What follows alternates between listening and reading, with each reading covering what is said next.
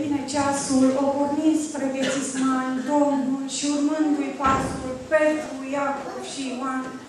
Se împlinea finala luptă dintre Dumnezeu și vad, când Iisus cu fața subtă traversa un cosmic vad, se întorcea până la geneză să dea pieptul lui Satan, să creeze o sinteză între el și întâi Adam, să plătească el căderea omului de el creat și să-i dea înapoi averea dinainte de păcat.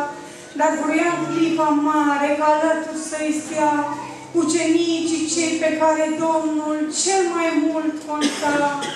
Avea încredere în Petru, ucenicul flăcărat, care nici cu un milimetru de la crez n-a deviat. Dacă ar fi fost să alerge pretutindeni pentru țel și spusese că ar merge chiar la moarte pentru el, Iacov nu-i spusese oare că spre asta la dreapta sa, acum încercări mare, este gata să o bia? Dar Ioan, cel ce la cine se sprijinea pe piept, cu privirea lui senină, iubitor și înțelept, însăși Dumnezeu în carne le cerea sprijini când Părintele să-i toarne greul lumii spre al sorbi. Doamne, Tată, totdeauna venit în voia sa, ți apropie furtuna, întărește-mă în ea. Iată începe bătălia, vin cohortele cu voi. Dăm, Părinte, veșnicia omului crea de noi. Fă să vină în lume harul, iată este voia ta, depărtează acum paharul de păcat din fața mea. Ucenicii la o parte se rugară pentru el, însă în această noapte îi pândea un duh rebel, somnul le cădea pe plioape, rugăciunea lui stingea, dar de Duhul lor aproape, Duhul Domnului șoptea.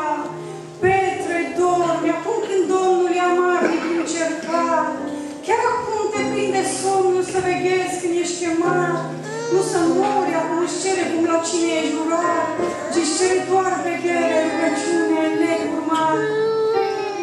Iacov, ruga să fii mare în împărăția lui, nu apostol ca oricare, ci apostolul din tâi, ai promis să bei paharul, cruce ai promis-o ei, iată înțins ți paharul, scoală-te acum să-l bei, o Ioane, sar de grabă rază măită de piept, căci iubirea ca o roabă la stăpân se uită drept, în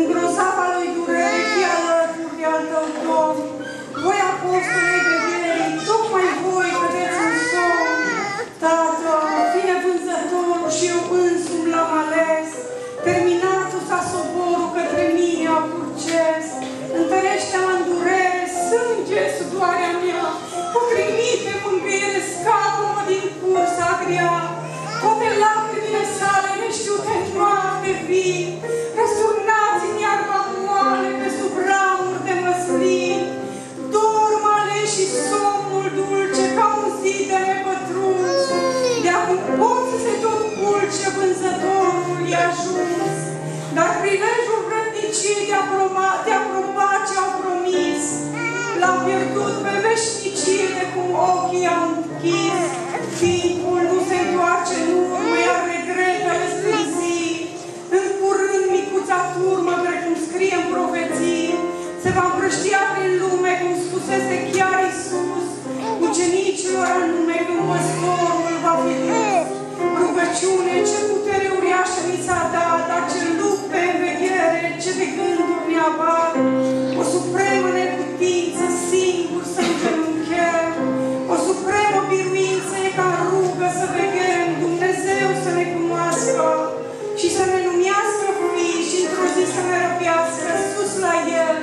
fii și într-o zi să